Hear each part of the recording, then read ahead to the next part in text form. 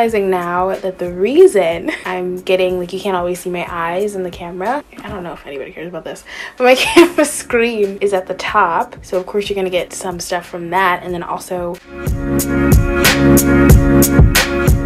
there has to be a way to get this to work. But until then, so hello, welcome back to my channel. My name is Isis and this is Isis Says Hi. I can't believe I did all of that and I was looking at the viewfinder. That's great. I do a lot of research videos about topics that I think are really interesting and that matter to me. And then also sometimes I vlog, do random rambles, as I like to call it, about stuff that I think is really cool or important to me or that matters. If you like any of that, please feel free to subscribe. And if you like this video during the middle of it as you're going through it, please feel free to give it a thumbs thumbs up. I also am still wearing this because I actually genuinely like how it just kind of pulls back my head. So last week I talked about the adultification of black girls. Obviously there's no updates from there because it was just me kind of talking about adultification.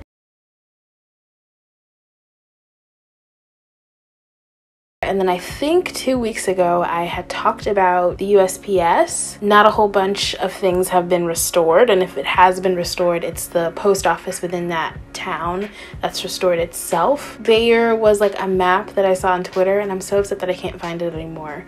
It looks like the swing states are the ones that are actually going to be suffering the most. If you are in a swing state, try your best to make other kinds of voting things that are outside of voting by mail of course, yesterday, the 22nd, thank you, iPad, I think was National Voter Registration Day. So hopefully you have been registered to vote. That's all I have. So today we're going to be talking about the Supreme Court. This is mostly going to be focusing on the US Supreme Court. I'm wearing the Read merch. Shout out to the Read. What a great podcast. Shout out to the Super Friends. I didn't need to do that. Anyways, so the US Supreme Court is the highest court in the country, meaning that when the cases come to the Supreme Court, their decision isn't subject to any further review or appeal. Appeal essentially is there's a case that you get, the ruling that is made is something that one of the other sides might not like, so they appeal, enter the case into a higher court to maybe get a different judging decision. That decision kind of supersedes the previous case ruling, and it just kind of can keep going and up until it reaches the US Supreme Court.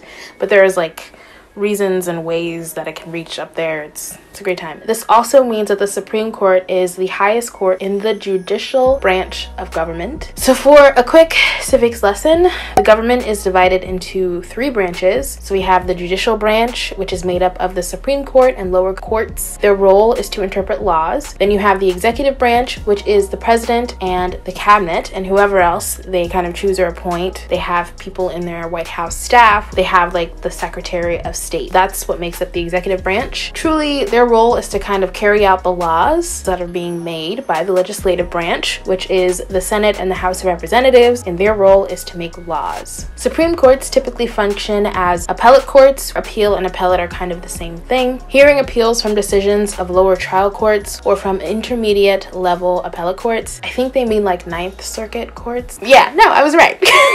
Shout out to me, just knowing it off the back of my head, as if I wasn't researching this for hours. The Supreme Court also has jurisdiction or authority on cases between state and nation, state and state, and government and citizen. And if necessary, the court has the power to check the actions of the other two branches of government.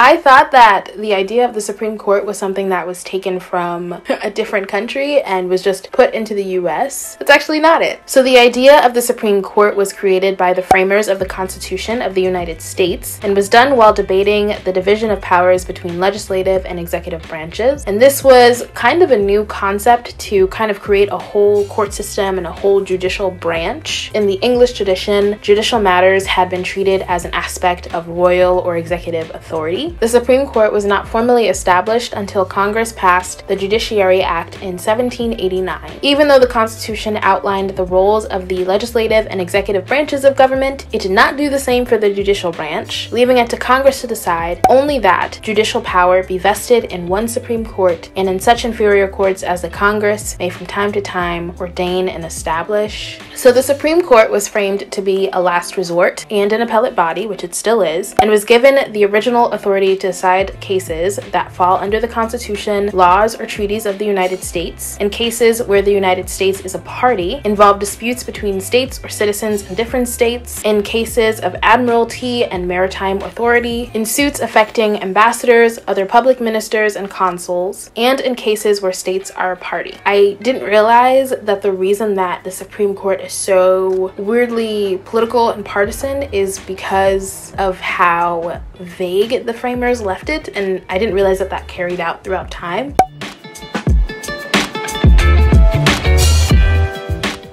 From 1789 to 1807, the court was made up of six justices, and in 1807, a seventh justice was added, followed by an eighth and a ninth in 1837, and then a tenth in 1863. The size of the court varies, but the size of the court is actually a political power move, and that sometimes can become law. So the first one was the Judiciary Act of 1801. This was the first example of a political party trying to shape the court. The Federalist controlled Congress passed this act, reducing the number of Supreme Court justices by one whenever one of the justices left the court. So if a justice maybe dies or retires, their seat automatically is gone. The reduction of Supreme Court justices was intended to delay President Jefferson's chance to nominate someone to the court. Then there is the Judicial Circuits Act of 1866, and this was the only other time that the number of Supreme Court justices was changed. And actually, the proposal actually succeeded because we're going to talk about another one later. The act eliminated three seats from the Supreme Court, reversing the pending nomination of Henry Stanbery to the Supreme Court. Stanbery was the only justice nominated to the court by President Andrew Johnson. President Roosevelt also had a plan, which I, I find this hilarious that he thought it would actually work. He had the Judiciary Reorganization Bill of 1937. So this was done to fill the court with more justices favorable to the New Deal legislation. Roosevelt proposed appointing a new justice for every sitting justice over the age of 70, and that would actually mean that six justices would be added. Congress literally just ignored that sentiment, that wasn't going to happen. And then later, the reorganization bill was passed without the additional justice provision.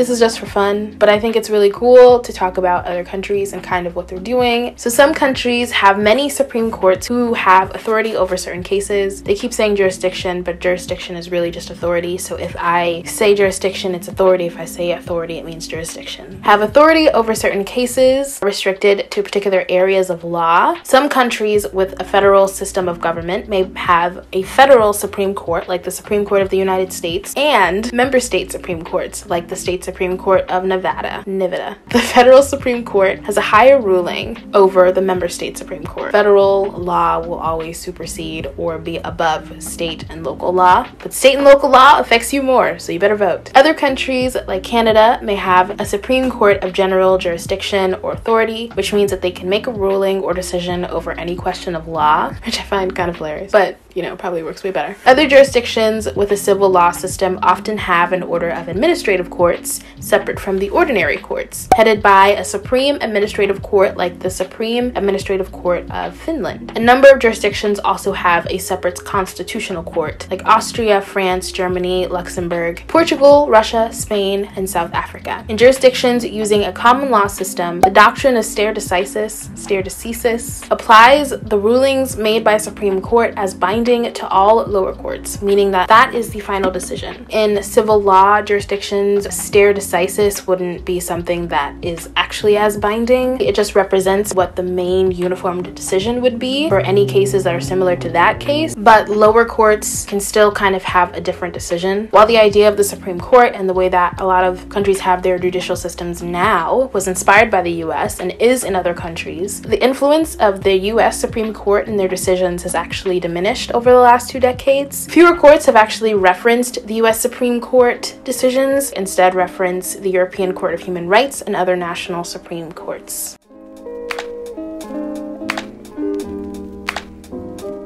The Supreme Court is important because it rules on cases that affect our lives in so many ways. This goes from public school desegregation to gay marriage to healthcare to affirmative action to voting rights and to free speech. The second point is that Supreme Court justices have a lifetime appointment, serving until death or retirement. They can be impeached, but this has only happened once. So, because of this lifetime appointment, a justice can have a huge impact on the way that we exist in this country, depending on their rulings for a lot of decades, especially since they never really have to worry about running for re election, meaning they don't have to think about public opinion when they make their decisions. And so they can impose a view that is very much not in agreement with the rest of the country. And again, that can have a lot of implications for a really, really long time until they maybe come upon the case again and change that ruling. Supreme Court and lower federal court appointments are made by the president, but they are also approved by the Senate. So it used to be that you needed 60 votes to be confirmed for these appointments. The Republican Senate changed the rules in April 2017 to require 51 Senate votes instead. So this was done mostly to confirm Justice Neil Gorsuch, Gorsuch when it was realized that Republicans would not be able to reach 60 Senate votes.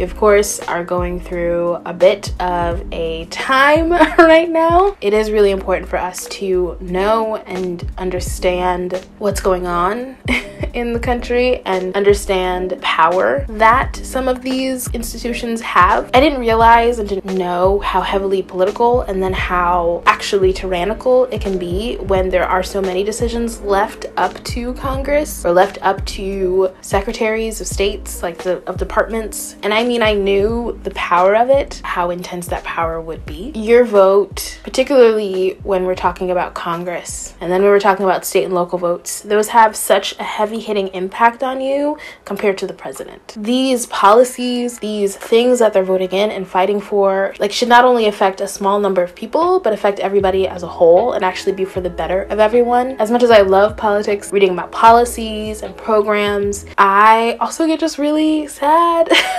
and just frustrated. I know that they want you to feel powerless, they want you to kind of give up, and you shouldn't be giving up, but it also kind of feels like, what are you supposed to do?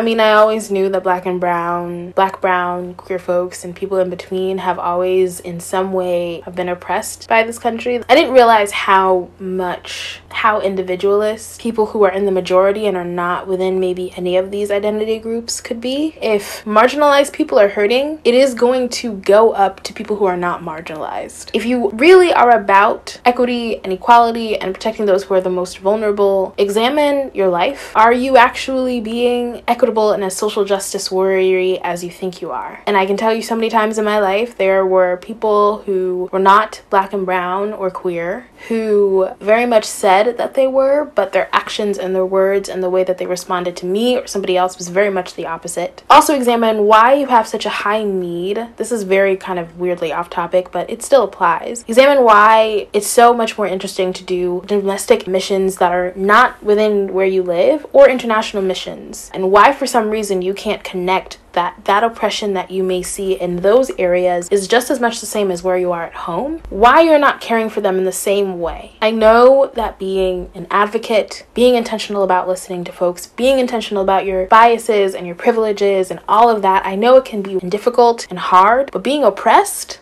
is even harder it has disappointed me and frustrated me at how much people can be incredibly ignorant of marginalized voices because it literally makes them have to think about not being selfish for five seconds. Are you questioning the institutions that you exist in, making sure that they're actually as inclusive as they claim to be, and not just posting a black square for the fun of it?